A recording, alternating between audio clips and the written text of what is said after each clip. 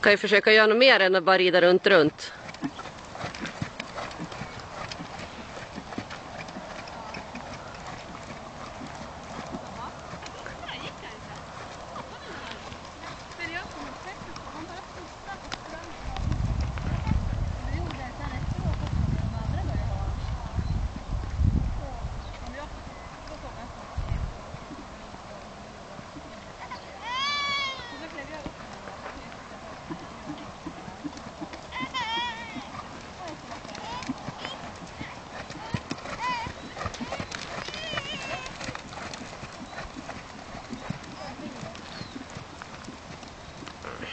Räcker det? Trycker jag på samma igen?